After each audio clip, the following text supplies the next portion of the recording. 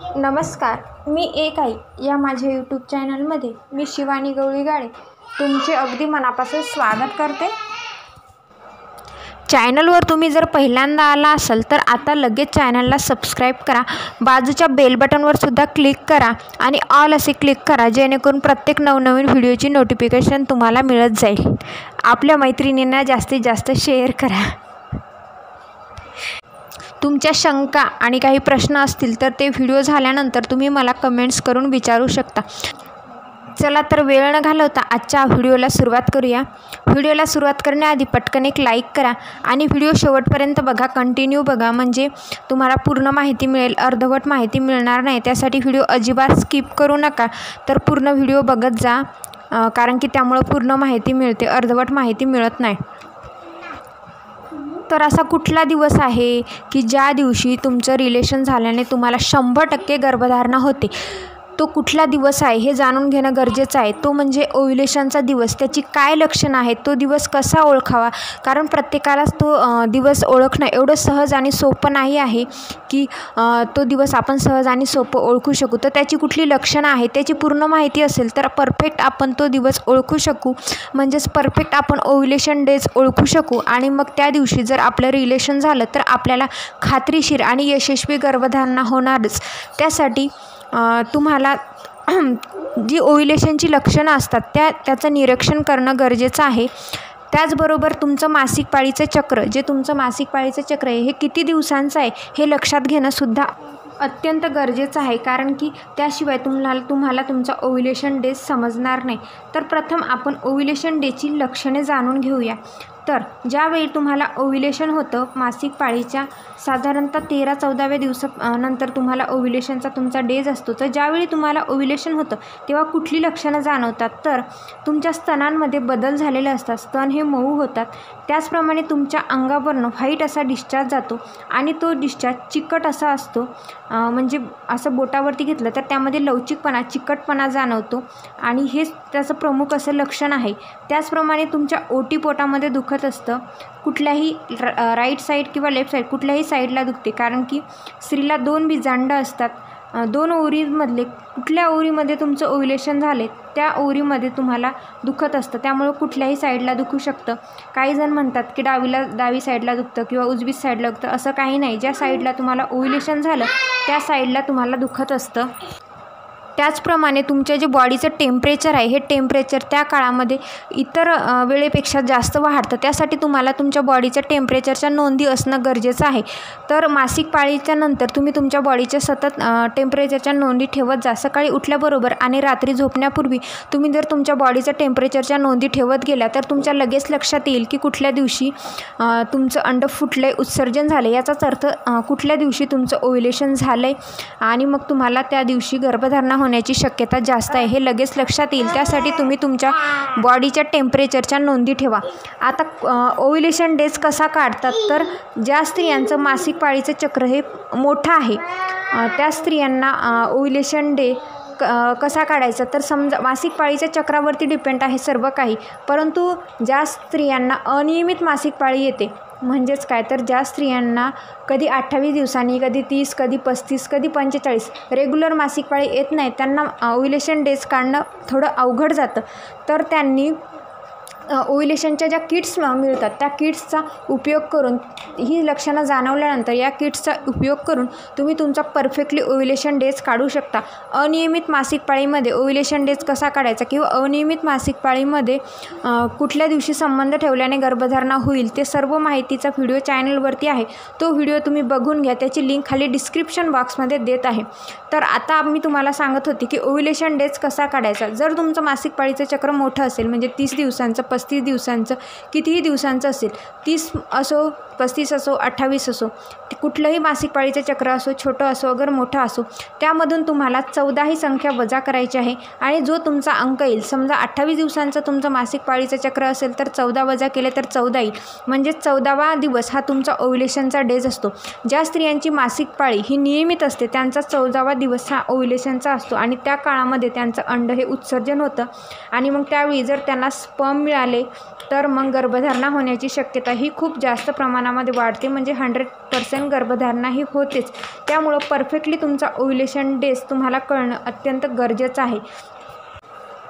जर आपल्याला ovulation days काढणं सहज जमत नसेल तर काय करायचं? आपले जे फर्टाईल डेज असतात त्या काळामध्ये जर आपलं रिलेशन झालं तर आपल्याला गर्भधारणा होण्याची शक्यता ही अजून जास्त वाढते. कारण की फर्टाईल डेजमध्ये कुठला तरी एक दिवस असतो ज्या काळात आपलं ओव्हिलेशन हे होत असतं. आणि त्या काळामध्ये तुमचं रिलेशन झालं तर त्याचा खूप जास्त फायदा होतो. ते मी तुम्हाला सांगते कसं काढायचं. समजा तुमचं मासिक पाळीचं चक्र अठ्ठावीस दिवसांचं आहे तर त्यामधून तुम्हाला सतरा ही संख्या वजा केली तर किती येतं? अकरा येतं बरोबर. म्हणजेच अकराव्या दिवसापासून तुमचं फर्टाईल डेज सुरू होतात. आणि मग त्या काळामध्ये एक दिवसाआड जर तुम्ही रिलेशन ठेवलं तर मग ज्या दिवशी तुमचं अंड फुटणार त्या दिवशी त्याला स्पर्म मिळाले तर शंभर टक्के तुम्हाला गर्भधारणा झाल्याशिवाय राहणार नाही. शंभर टक्के तुम्हाला गुड न्यूज मिळणार. त्यासाठी फर्टाईल डेज पण खूप महत्त्वाचे आहेत. मासिक पाळीचं चक्र तीस दिवसांचं असेल तर तेराव्या दिवसापासून तुमचं फर्टाईल सुरू होईल.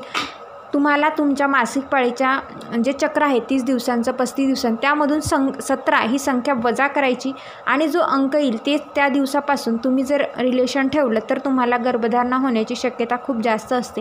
एक दिवसाआड तुम्हाला रिलेशन ठेवायचं आहे त्यामुळं काय होतं तर गर्भधारणा होण्याचे चान्स हे जास्त वाढतात. कारण की स्पर्मची जी क्वालिटी असते ती चांगली येते एक दिवसाआड रिलेशन ठेवल्यामुळे. त्यामुळे एक दिवसाआड रिलेशन ठेवा. शुक्रजंतू म्हणजे पुरुषाचे जे स्पर्म असतात ते चार पाच दिवस जिवंत राहू शकतात. परंतु स्त्रियांचे जे बीज असतं स्त्रीबीज असतं ते जास्त वेळापर्यंत जिवंत राहत नाही. चोवीस तासापेक्षा जास्त काळ त्याचा जीवनकाळ कमी असतो. त्यामुळं तुम्हाला ओव्हिलेशन च्या दिवशीच्या अगोदर तुमचं जर रिलेशन झालेलं असलं तर तुम्हाला गर्भधारणा होण्याची शक्यता असते त्यासाठी एक दिवसाआड ठेवा.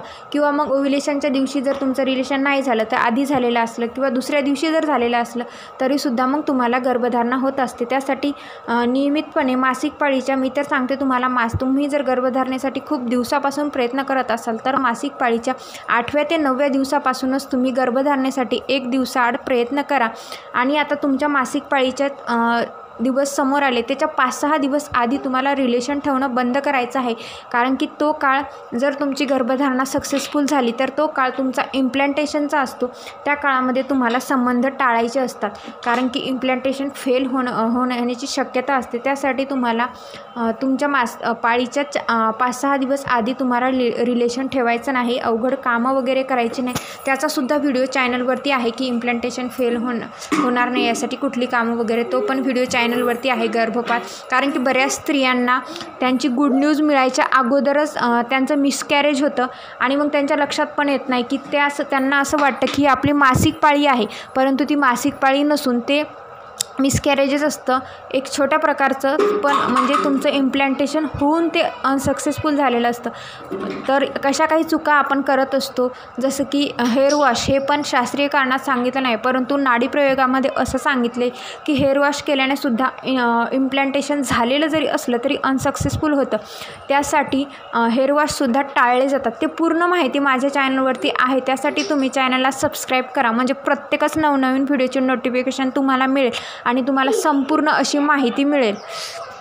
आता हे तर सर्व मी सांगितलंच. आता सगळ्यात महत्त्वाचं तुमचा ओइलेशन डेज तुम्ही काढला त्या दिवशी तुम्ही रिलेशन ठेवलं तर तुम्हाला बऱ्याच गो चुका करायच्या नाहीत. त्या चुका म्हणजे काय? तर रिलेशननंतर तुम्हाला लगेच उठायचं नाही पंधरा ते वीस मिनटापर्यंत तसंच शांतपणे झोपून राहायचं आहे.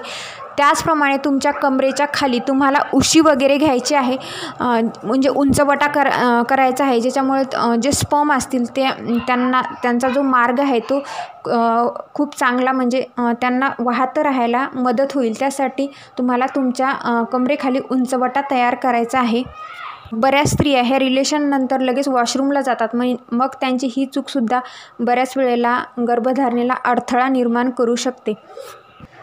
त्याचप्रमाणे आपलं वजनसुद्धा आपल्या गर्भधारणेला अडथळा निर्माण करतं. त्यामुळे तुमचा फेलोपियन ट्यूब हा ब्लॉक होत असतो. त्याचासुद्धा व्हिडिओ चॅनलवरती आहे. तो व्हिडिओ तुम्ही बघून घ्या. म्हणजे तुमचं वजन जर जास्त असेल तुमचा ट्यूब जर ब्लॉक होत असेल तर काय करायचं हे त्याच्यामध्ये सांगितलेलं आहे. तो व्हिडिओ बघून घ्या. आणि या काळामध्ये रिलेशन ठेवा. तुम्हाला शंभर टक्के गर्भधारणा झाल्याशिवाय राहणार नाही. लवकरात लवकर तुम्ही आई व्हाल. आणि तुम तुम्ही आई झाल्यानंतर मला जरूर कळवा. तर आजचा व्हिडिओ तुम्हाला किती यूजफुल वाटला हे तुम्ही मला कमेंट्स करून सांगाच तुमच्या काही शंका आणि प्रश्न असतील तर तेही तुम्ही मला जरूर विचारा. चला तर भेटूया नवीन एका व्हिडिओमध्ये तोपर्यंत स्वस्त राहा मस्त राहा टेक केअर बाय बाय बऱ्याच व्हिडिओच्या लिंक खाली डिस्क्रिप्शन बॉक्समध्ये देत आहे. जे व्हिडिओ तुमच्या अत्यंत उपयोगी पडतील तर ते व्हिडिओसुद्धा बघून घ्या. जेणेकरून तुम्ही लवकर आई व्हायला तुम्हाला खूप जास्त प्रमाणामध्ये मदत होईल. Take care bye bye